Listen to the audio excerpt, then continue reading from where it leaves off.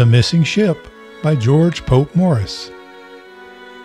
She left the port in gallant style, with sails and streamers full and free. I watched her course for many a mile, far out upon the distant sea.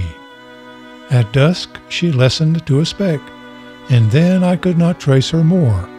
Sad hearts were beating on her deck, sad hearts were beating on the shore. Two of the outward bound I knew, one beautiful, the other brave, the master worthy, and the crew born to contend with wind and wave. For travel some, and some for gain, and some for health had gone abroad. Our prayers were with them on the main. God speed the ship and all on board. That vessel never reached the land. No tidings of her ever came. Those who beheld her leave the strand for years in anguish heard her name.